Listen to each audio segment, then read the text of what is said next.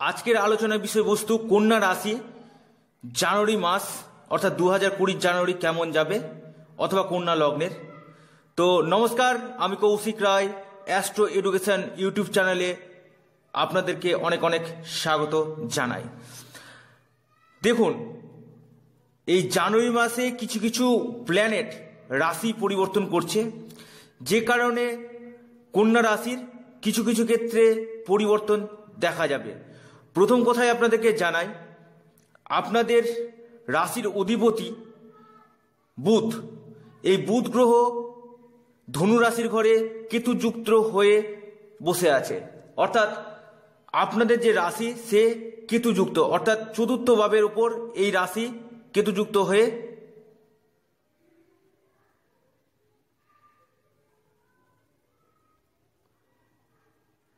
বসে আছে। তো চতুর্থ ভাব থেকে আমরা কি যা দেখি? পরিবার। আমাদের মাতৃত্ব স্থান, আমাদের বন্ধু বান্ধব অর্থাৎ আপনাদের এ মাসে বন্ধু বান্ধবের থেকে একটু সমস্যা আসতে পারে।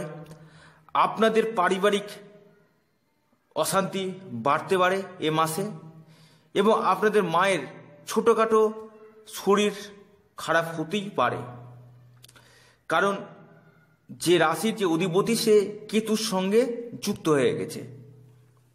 যেটা বুধ কেতুকে জ্যোতিষশাস্ত্রে নাচযোগ্য বলা হয়ে থাকে।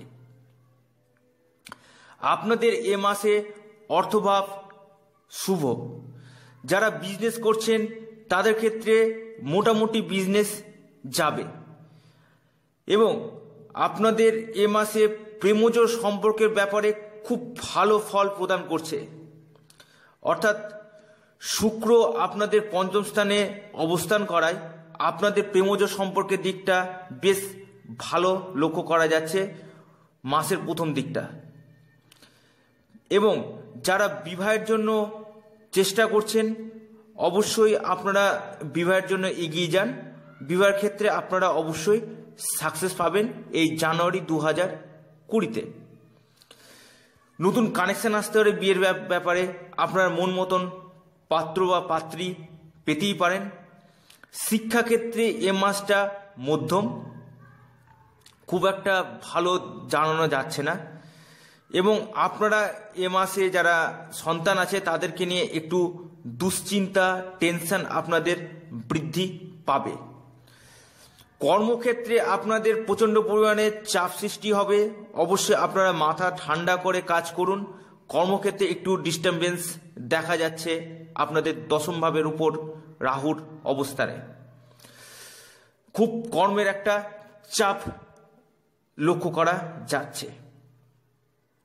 এবার আপনাদেরকে জানাই, আপনারা এ মাসে ভ্রমণ করতে পারেন। অবশ্যই একটা ভ্রমণের যোগও আপনাদের দেখা যাচ্ছে।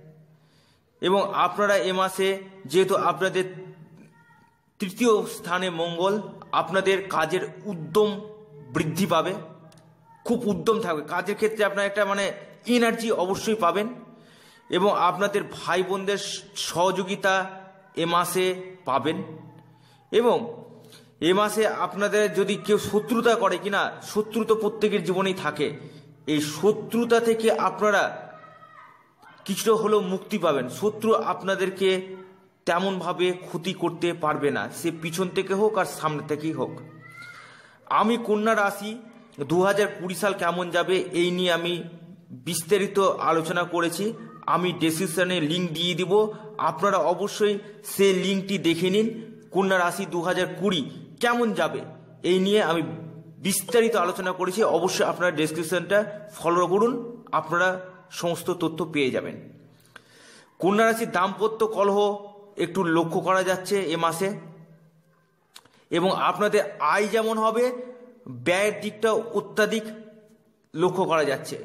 আপনাদের এ মাসে হাঁটুতে ব্যথা, হাড়ে ব্যথা এবং দাঁতের সমস্যা এ মাসে কিছুটা হলো এই জানুয়ারি মাসে কন্যা রাশি বা কন্যা লগ্নের জাতক জাতিকারা বিজনেস ক্ষেত্রে হিউজ ইনভেস্টমেন্ট করবেন না, কারণ বিজনেসের ক্ষেত্রে এ মাসটা আপনাদের খুব শুভ ফল প্রদান করবে না।